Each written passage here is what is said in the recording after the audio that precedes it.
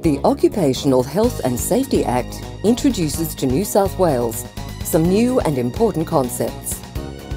Every employer is now required to consult with their employees about workplace safety.